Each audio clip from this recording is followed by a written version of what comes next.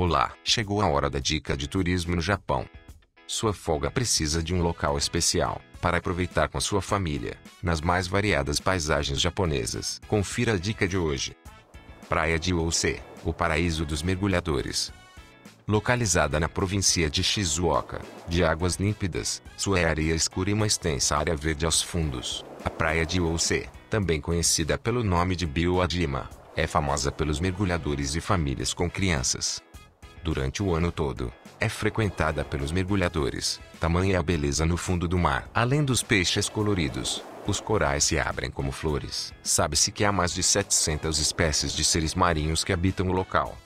Com ondas calmas, as crianças podem brincar à vontade. Esse é o motivo pelo qual a praia de Ouse é a querida das famílias da província de Shizuoka. Dessa praia também se pode ver o Monte Fuji, quando o dia está ensolarado. Além da praia, inclua a visita ao Santuário de Ouse, com 1500 anos de história, que fica cerca de 6 minutos a pé. Gostou dessa dica? Para mais dicas de passeios como esta, inscreva-se no canal do Portal Me no YouTube. Até a próxima!